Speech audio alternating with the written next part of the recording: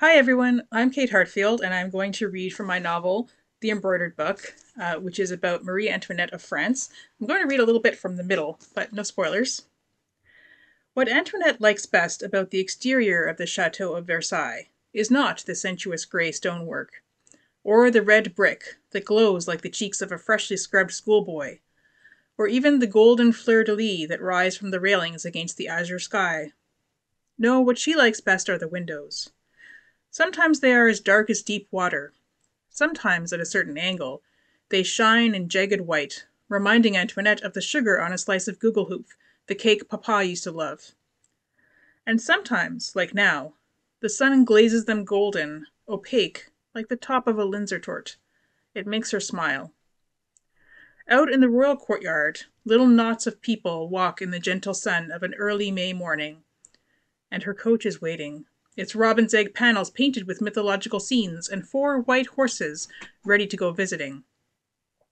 On a day like today, she cannot believe that Prince Louis de Rohan or anyone else wishes her harm. He's gone to England anyway. Everything may not be for the best in the best of all possible worlds. Her marriage is unconsummated, and Mamma is always disappointed in her. But the sun shines on Versailles. Antoinette lifts one sage silk shoe to step into her coach, when one of the four horses snorts and the other stamps, another coach comes rattling past, passes by Antoinette's, and then rolls to a stop. It shines in black and gold, the horses roan and bay, their coats glossy.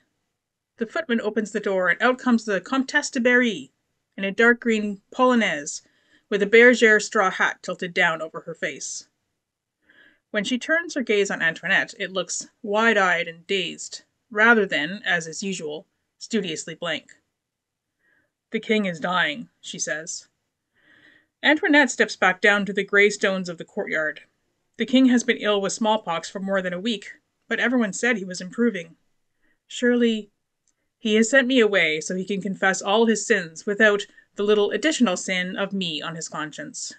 Oh, I know, he did that with another mistress once, but this time I think he won't recover, and I won't return. May God help him, Antoinette prays. But what will happen if the king dies? Now, today? The Dauphin, he's in his foundry. They'll send someone to tell him, now that I'm out of the way. Antoinette doesn't know what to say. His Majesty's love for you. Ha! the Comtesse interrupts, staring at something invisible just over Antoinette's shoulder. Ha! For Louis, love flowed one way like taxes. He collected as much as he could, from as many as he could, and he's still dying bankrupt. Thank you very much.